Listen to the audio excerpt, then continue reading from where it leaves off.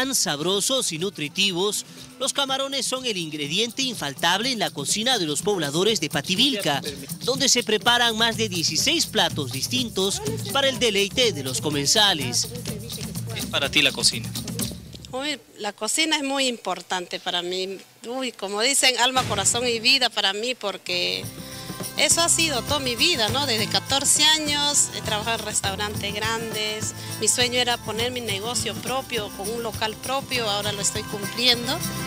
Y es que esta tierra norteña, ubicada a solo tres horas de Lima, es por excelencia el hogar de los camarones, crustáceos que crecen grandes y abundantes en las aguas del río Pativilca y son una de las principales actividades económicas.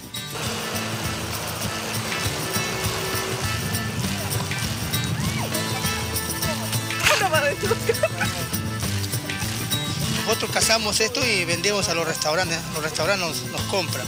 Eso están escondidos, están escondidos en las piedras, pero ahorita como voltean las piedras ahí están escondidos estos. Entonces cuando uno ya va metiendo en la mano ahí lo agarras al camarón.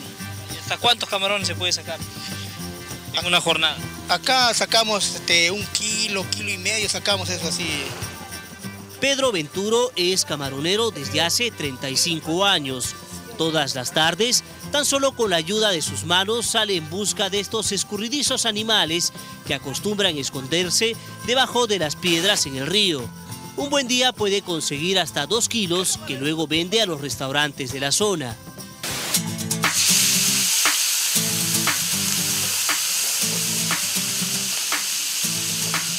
¿Tiene algún truco para cocinar el camarón de repente para que la gente lo sepa en su casa?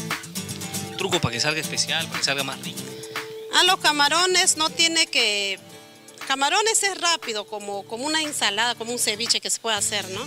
Porque no tiene que hervir mucho, porque si va a hervir demasiado, 15, 20 minutos, creo que va, va a perder ese sabor, ese nutritivo que tiene. Los camarones es eh, a 10 minutos todo. Rapidito, o sea. Rapidito, así como usted ha visto, ¿no? En 15 minutos a salir los cuatro platos. Pero los camarones no son nuevos en la dieta de los pativilqueños. Ya desde la época del incanato eran consumidos por los antiguos pobladores que habitaron este templo conocido como la Fortaleza, construido en su totalidad con adobes de barro. En su época de esplendor, las paredes de este templo estaban enlucidas, es decir, pintadas de colores amarillos y rojos, como todavía se pueden observar en la base de este muro. Este edificio está compuesto por tres terrazas ¿no? y cada una tiene un color. ¿no? Hay la primera terraza es de color rojo, la segunda es de color amarillo, la tercera de color rojo, así sucesivamente. Y también tenían pues figuras de serpientes, de felinos. Hay algunos sectores que vamos a ver posteriormente donde incluso tienen representaciones de figuras ajedrezadas, ¿no? en forma de tablero de ajedrez, etc. La historia cuenta que aquí vivieron grandes sacerdotes y vírgenes del sol.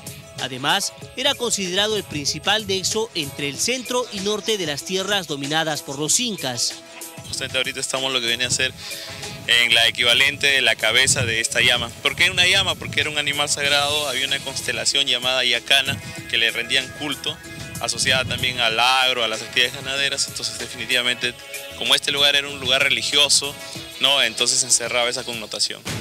Si seguimos recordando la historia, aunque muchos años después, en esta tierra vivió sus últimos días el libertador Simón Bolívar, quien, según cuenta la población, mandaba traer jugosas cañas de azúcar de Paramonga, donde actualmente se producen 500 toneladas diarias de azúcar.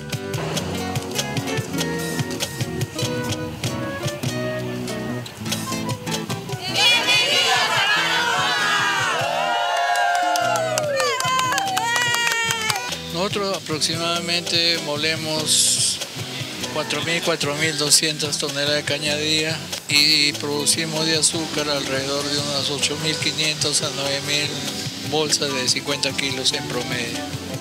Estas plantaciones se extienden a lo largo de la Panamericana Norte como una interminable sabana verde. El proceso empieza con el arribo de estos trailers que traen la caña quemada y recién cosechada de los campos. Finalmente se colocan en esta zona donde una gran grúa voltea toda la caña hacia este depósito para que el agua lave y saque todos los residuos de la tierra, la arena.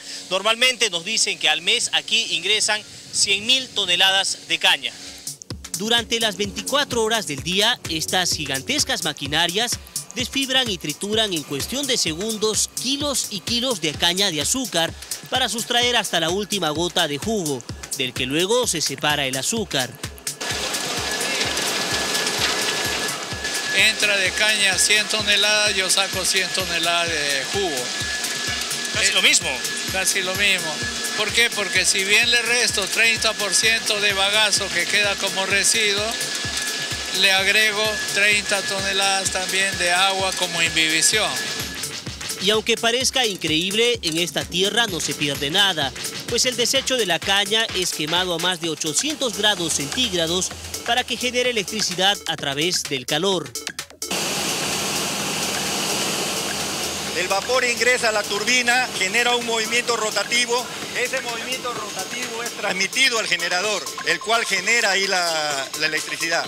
O sea, la energía calórica del vapor es convertida en energía mecánica en la turbina y luego es convertida en energía eléctrica en el generador. ¿Cuánta energía eléctrica estamos ahora? Ahorita estamos en un promedio de 13.5 a 13 megavatios. Historia, cultura, modernidad y mucho sabor. Anímese a conocer estas imágenes del Perú.